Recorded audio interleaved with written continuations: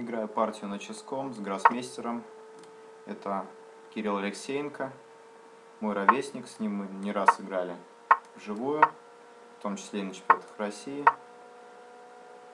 И попробую сыграть каталон против староиндийки, так это назовем. Но он переходит в славянку. Окей, здесь b3, слон b2 и конь d2 хочу сыграть. То есть двойной фианкета такой сделать.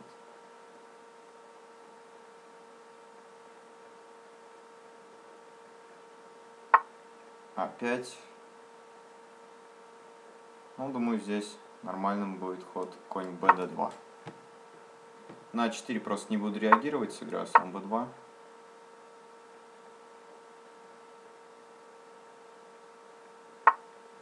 Так, слон f5. Может здесь конь h4 его попробовать согнать. Слон e6, здесь c5. Хочу потом b4 укрепиться.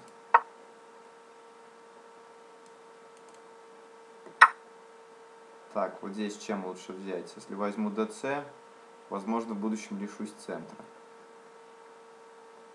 Так что bc, наверное.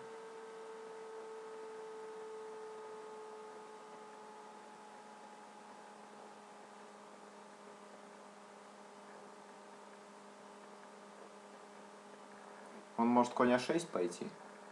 С идеей потом линию Б захватить, да. И я здесь, наверное, А3 теперь.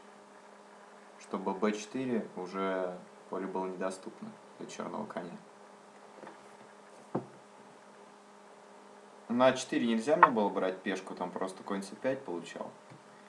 Так что здесь ферзь С1. Хочу слон С3.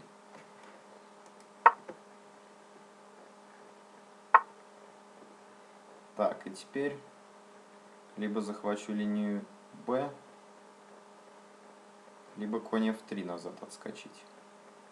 Ладно, пока что так сыграю.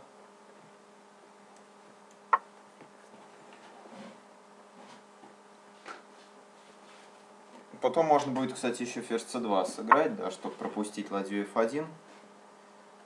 Тоже на линию b. Или e3.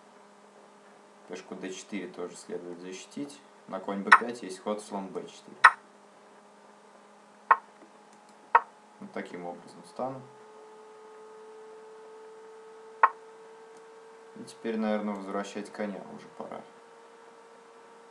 Или чуть попозже, после ферзь c1. Нужно уйти из-под связки и из-под э, угроз слон f5.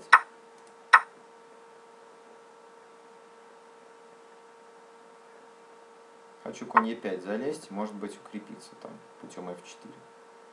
Предложу еще один размен. Размен был принят. И теперь уже e5 хочет сыграть соперник. У него сильный конь на b5. Мне придется с этим мириться как-то. Ладно, ладья d1 пока. Забрал. Еще раз забрал. И конь f3 теперь. Хочу перевести на d4. И здесь ладья d3. Защитился вроде бы. Так, тут, наверное, уже ладья, не ладья e4, там конь d2, поэтому короля пока отведу, чтобы поля e2 и e1 держать при вскрытой линии. Так, ладья b4 этого и не видел. Просто мимо меня этот ход прошел.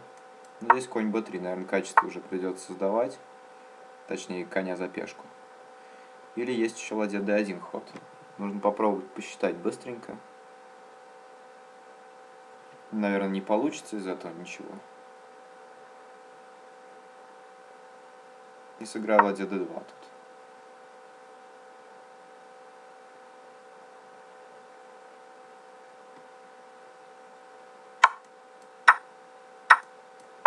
Мой план это перевести ладью на А6.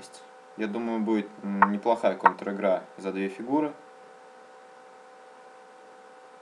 За две фигуры у меня пешка, и эта пешка достаточно опасная, которая на c5 стоит.